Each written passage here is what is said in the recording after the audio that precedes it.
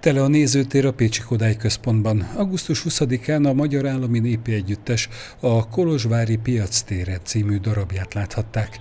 A Piac tér a civilizáció történetében mindenkor fontos szerepet játszott. Ez még kultúrák találkozóhelye, történelmi események színhelye volt. Igaz ez a megidézett Piac térre is. Nem akármilyen Piac térről van szó, a Kolozsvári Piac tér, eh, és elsősorban azért ez a cím, mert ez azt hiszem, hogy három évvel ezelőtt a Kolozsvári Magyar Napok felkérésére készült. Talán a nézők közül is többen tudják, hogy ez a, a Erdélyi Magyarság legnagyobb kulturális fesztiválja, tehát nagyon kitüntetett volt ott eh, részt venni.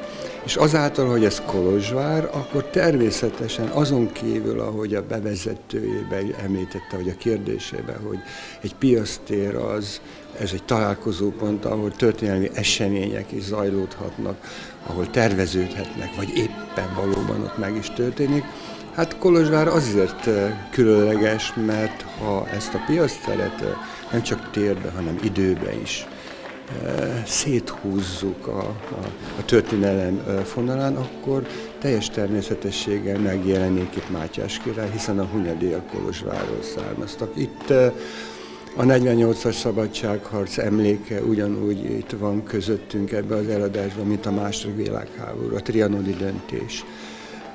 De a, a romániai forradalom is, amiben mi magyarok azért elég tevékenyen részt vettünk. Szegény Sütő Andrásnak még a, a szeme világát is adta a román szabadságért. És hát persze sok népzene és néptánc teljes természetességgel magyar és román, hiszen egy, egy hát jó pár száz éve vegyes lakosságú terület egységes kultúrájáról van szó.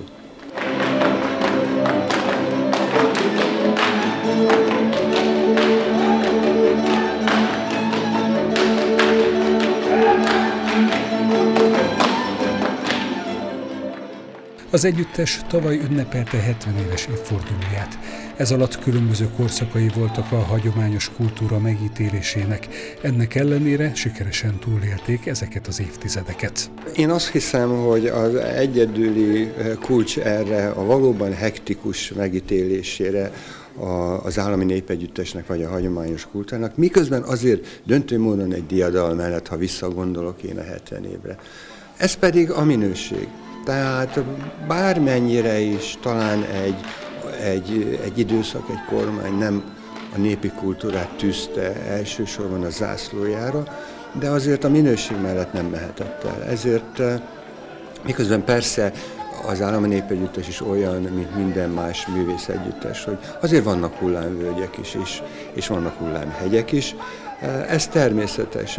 Mindig és, és nagy erővel kötődik mindig azokhoz az emblematikus emberekhez, művészekhez, akik, akik jelképezték az állami népegyüttest. Hogy csak kettőt említsek, Rábai Miklós, a legendás koreográfus, aki megalakította az együttes, és utána pedig Tímár Sándor, ő neve, és azt hiszem, hogy országosan ismerten Cseng, aki a, a táncházmozgalom nagy atya, aki meg, megújította, megfrissítette az állami népegyüttes. Aztán az utóbbi eh, több mint két, tized, két évtizedben már én vagyok felelős az állami együttesért, de hogy az én megítélésem az, eh, az milyen, hát azt bízunk a nézőkre és a, az utókorra.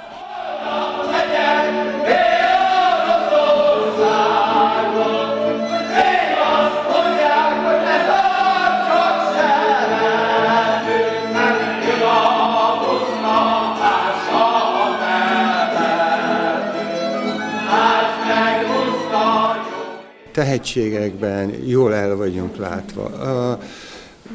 Most, most egy olyan, olyan időszak van, amikor a, a, a kormányzat támogatja a hagyományos kultúrát, ezért aztán nagyon sok művészeti iskola van.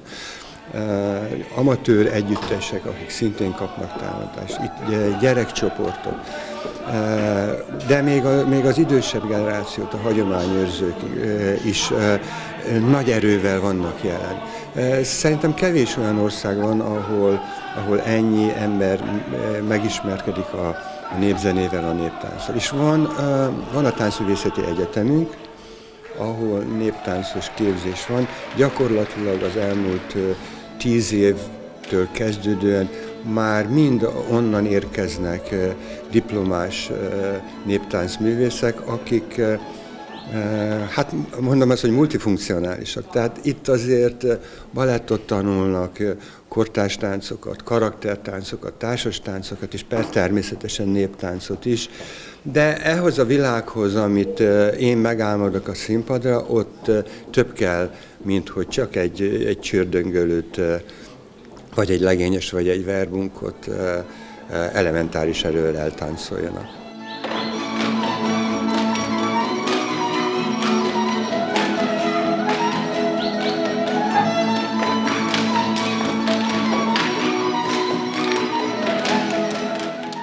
Ünnepi előadás volt ez Pécsen, ami a régmúlt és közelmúlt eseményét is megidézte, táncban, zenében elmesélve.